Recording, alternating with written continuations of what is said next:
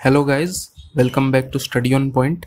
We offer you assistance for all your placement needs. If you are new here, please subscribe to this channel to get future job updates and crack your way to your dream company. So friends, in this video, we are going to look into a query that many guys have been asking about. Is the coding round in Accenture an elimination round? So the answer is yes.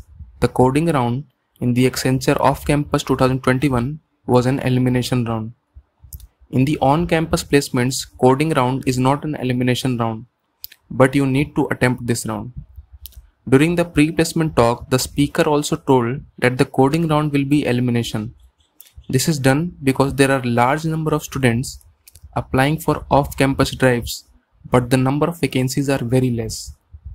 So to filter out the best candidates, the coding round is elimination round. But there are few exceptions.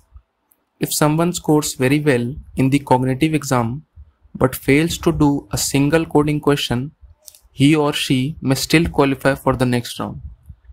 Although the number of such candidates is very less. But the chance of their final selection is very less because the final selection depends upon the total score in all the rounds combined. Now I will show you the rejection mail from Accenture to a student who did not execute a single code in coding round. So guys this is the mail that you get from Accenture. So it says thank you for your interest in pursuing a career with Accenture.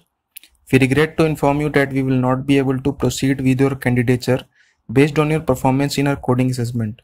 Your recruitment journey ends here and we are closing your candidature. All the best for your future endeavors. So this is the rejection mail that you will get if you do not qualify the coding round. So yeah, that was all. So guys, that was all for this video. If you found this video useful, please give this video a like and please subscribe to the channel. Thank you.